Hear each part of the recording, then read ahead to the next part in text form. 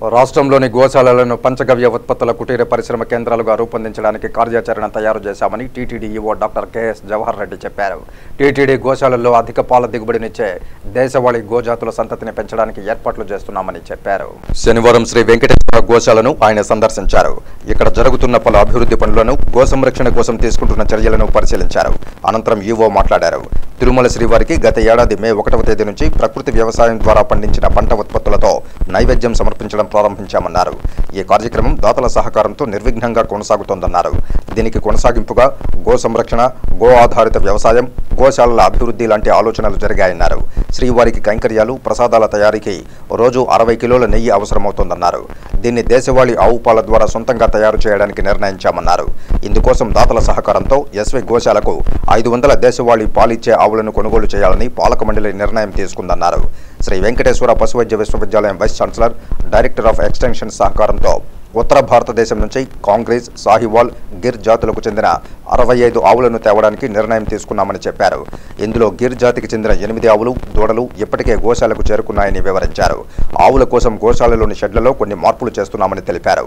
ఆవులు పాలిచ్చే సమయంలో మాత్రమే షెడ్లోకి వచ్చి మిగిలిన సమయంలో విశ్రాంతి తీసుకోవడానికి ఇసుక తిన్నెలు ఏర్పాటు చేస్తున్నట్లు చెప్పారు. గోశాలలో ఐదు వందల గోవులు ఏర్పాటు చేసి రోజుకు అరవై కిలోల నెయ్యి తయారీకి అవసరమయ్యే మూడు వేల లీటర్ల పాలను సేకరిస్తామని ఆయన తెలిపారు. నెయ్యి తయారీ కోసం దాతల సహకారంతో గోశాలలో ఒక ప్లాంట్ ఏర్పాటు చేస్తున్నామన్నారు.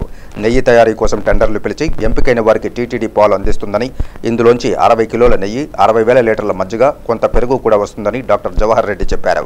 నెయ్యిని స్వామివారి కైంకర్యాలు ప్రసాదాల తయారీకి మజ్జిగ పెరుగన్నదానం కాంప్లెక్స్లో ఉపయోగిస్తామన్నారు. దేశవాళీ పశువుల్లో పాల ఉత్పత్తి పెంచే మేలుజాతి రకం మావులు పుట్టించడానికి శ్రీ వెంకటేశ్వర పశువైద్య విశ్వవిద్యాలయం గైనకాలజీ విభాగం ఆధ్వర్యంలో ప్రత్యేక టెక్నాలజీతో పరిశోధనశాల ఏర్పాటు చేశామన్నారు.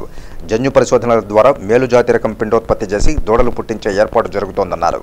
ఇందులో భాగంగానే సాహివాల్ జాతికి చెందిన ఐదు దూడలు ఇప్పటికే పుట్టాయని ఆయన చెప్పారు. గో ఆధారిత వ్యవసాయాన్ని ప్రోత్సహించడం కోసం రైతు సాధికార సంస్థతో చేసుకున్న ఒప్పందం మేరకు పాలు తీసుకుని వెయ్యిన్ని వంద ఆవులు ఆరు వందల ఎద్దులను రైతులకు ఉచితంగా ఇచ్చామన్నారు. గోమూత్రం గోమయంతో రైతులు ప్రకృతి వ్యవసాయం చేస్తున్నారని చెప్పారు. ప్రకృతి వ్యవసాయం చేస్తున్న రైతుల నుంచి ఏడాదికి ఏడు వేల టన్నుల శనగలు సేకరించాలని నిర్ణయించామన్నారు. ఈ సేకరణ ఇప్పటికే ప్రారంభమైందన్నారు. రాష్ట్రంలోని గోశాలల అభివృద్ధికి ప్రణాళికలు తయారు చేస్తున్నామని ఇందుకోసం ప్రతి జిల్లాలో నోడల్ గోశాలలను ఏర్పాటు చేశామని తెలిపారు. వీటి ద్వారా పంచగవ్య ఘన ద్రవ జీవామృతం తయారు చేస్తారన్నారు. గోశాలల నిర్వాహకులకు ఇస్కాన్ సంస్థ శిక్షణనివ్వడం కోసం తిరుపతి లేదా పలమనేరులో ఒక సంస్థను ఏర్పాటు చేస్తుందన్నారు. తిరుపతి గోశాలలోని పశువుల కోసం ఇక్కడే ఫీడ్ మిక్సింగ్ ప్లాంట్ ఏర్పాటు చేస్తున్నామని పశువైద్య విశ్వవిద్యాలయం విద్యార్థులు దీన్ని నిర్వహిస్తారని ఈవో తెలియజేశారు. అదనపు EO Dharma Reddy JEO Veerabrahmam CVSO Gopinath Jatti పశువైద్య విశ్వవిద్యాలయం vice chancellor Padmanabha Reddy director of extension Naidu Goshala director doctor Harinath Reddy తదితరులు పాల్గొన్నారు.